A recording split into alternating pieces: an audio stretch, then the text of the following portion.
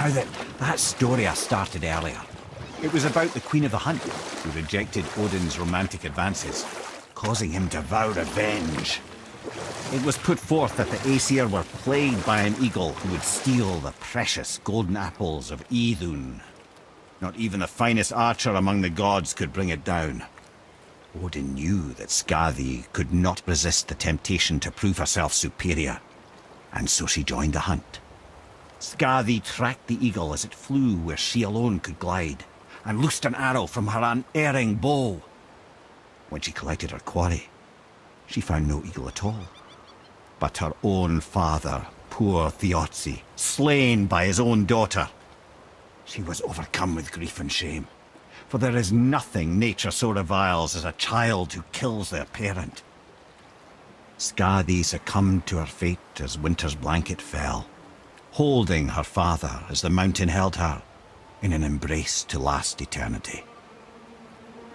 Well, that was sad. Aye. There aren't many happy endings for the Giants, I'm afraid.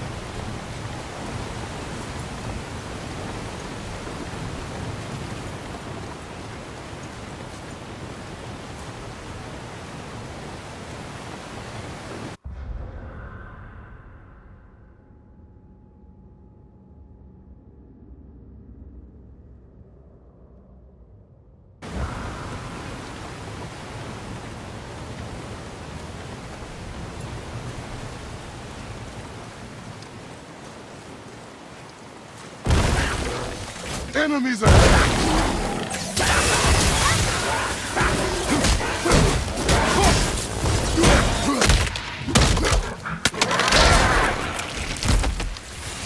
I'm ready!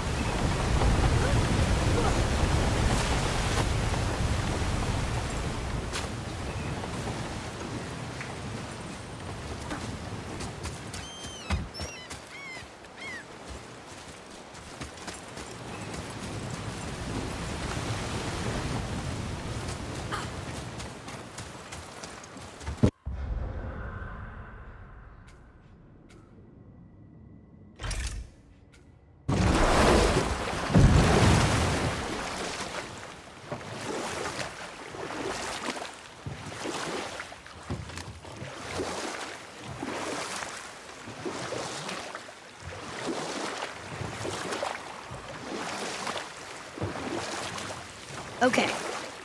What about the giant with eight arms? Starkath the Mighty, he was called.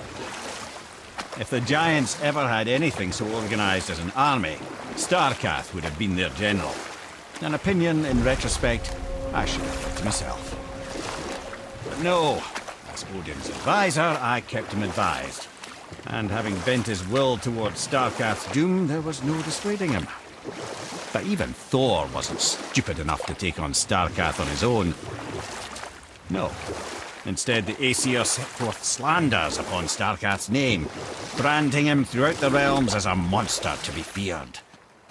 They said he abducted an elf queen who killed herself rather than be ravished by the giant. Lies, of course, but you're too young for her story. In the end, even the Vanir gods and the armies of Midgard were roused to the cause.